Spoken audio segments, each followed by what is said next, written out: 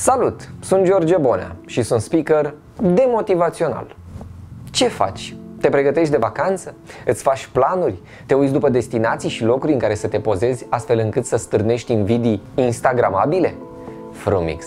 Am câteva sugestii pentru tine ca să-ți meargă bine vacanța și să-ți crească pipota de satisfacție. Mergi unde merge toată lumea. Nu căuta să ieși din tipare ori din cadrele care deja inundă rețelele de socializare. Ce ai? Ești nebun? Cum să mergi undeva unde n-a mai fost nimeni? Tu-ți imaginezi cum o să fie o discuție? Și unde ai fost? În Anonimistan. Aha, și cum a fost? Foarte frumos, ca nicăieri tu. A, eu am fost ca toți ceilalți. Bestial, rupere, șmecherie. De-aia merg toți acolo. Și gata. Aici s-a terminat conversația. O să mai auzi de la unii și alții că vezi, Doamne, trebuie să descoperi lumea. Păi să o descopere ei pe banii lor și după ce au descoperit ce destinații au vrut și s-au dovedit instagramabile, și demne de sardinare turistică, poți să dai și tu o șansă. Ce vacanță e aia unde nu te simți precum într-un bazar și unde nu-ți auzi limba la fiecare 10 persoane?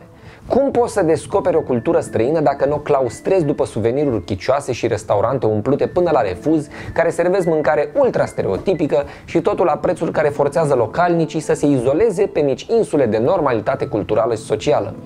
Asta e viața de turist. Nu uita să pozezi totul, încercând să imiți fix locații și posturi pe care le-ai văzut și la cei pe care îi urmărești pe Instagram. Doamne, trebuie să găsești ușa. Toate celebrele destinații turistice au acea ușă.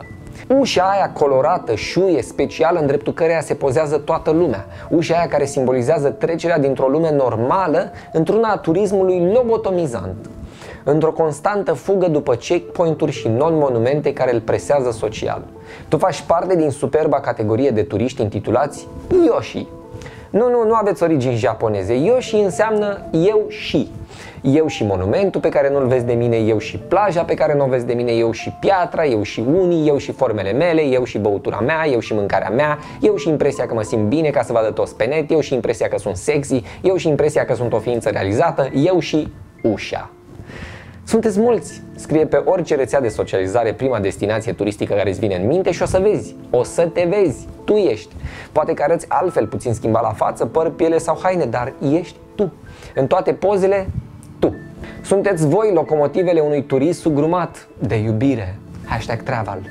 Nu uita când pleci în vacanțe să-ți car după tine tot confortul casnic și să-ți muți peste tot, pe glob, mostrele de sine ca să virusezi tu culturile cu tine, nu invers.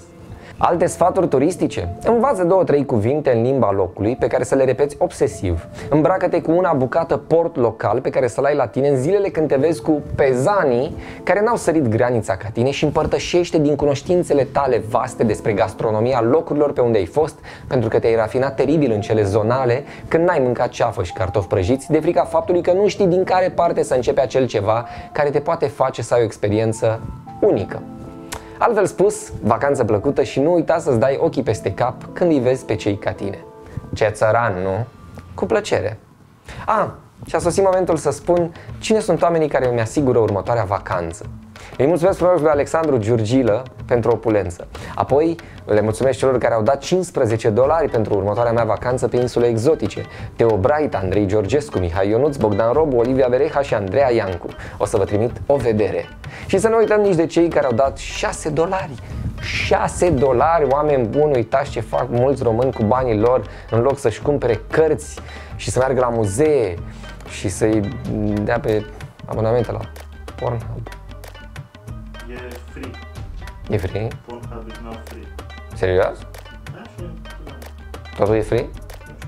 Da, oricum, oamenii ăștia au dat niște bani și mulțumesc celor care dau 3 dolari, 1 dolar și sănătate. Cu plăcere. Ia zi mă ce părere despre ăștia care pleacă așa în vacanțe la grămadă. să Bă, în închesui. ultimul an eu mă bucur pentru oricine pleacă undeva, adică Serios? da? la modul cel mai serios, vacanțele mele, adică gen cele mai șmechere plecări ale mele au fost m-am dus La undeva Slobozier. la Lidl La Lidl? sau la Ocean sau la, la Mega, nu prea îmi place. Mie nu-ți Dar place? vreau să spun, adică gen mai mă duc pe la Media Galaxy, mai mă duc pe la Carrefour, mai mă duc pe la de-astea. Asta, asta a fost vacanța mea din ultimul an. Ce să zic, mă? Trist. Deci eu mă bucur să se ducă, să se ducă, să facă economia, să astea, să... Știi? Da, și să vorbesc cu tine. Ne, Ești, ești neplimbat, ești, ești un amărât. Tu unde ai fost, mă, în ultimul an?